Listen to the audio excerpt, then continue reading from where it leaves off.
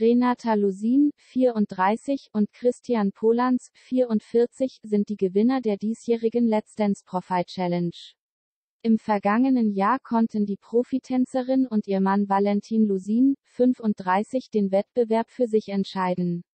In der 15. Staffel von Let's Dance durfte somit einer der beiden sich seinen Promi aussuchen. Damals überraschte Valentin die Zuschauer mit einer rührenden Geste. Er überließ seiner Frau den Vortritt.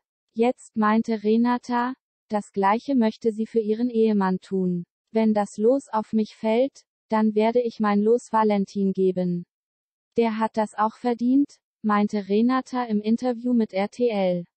In der 16. Staffel von Let's Dance wird ausgelost, ob Renata oder Christian sich ihren Star aussuchen dürfen, dem sie das Tanzen beibringen.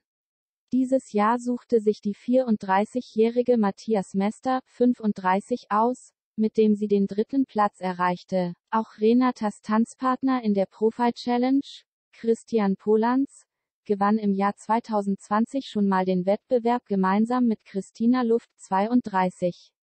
Er suchte sich die Moderatorin Lola Weipert 26 als Tanzpartnerin aus, mit der er damals den sechsten Platz erreichte.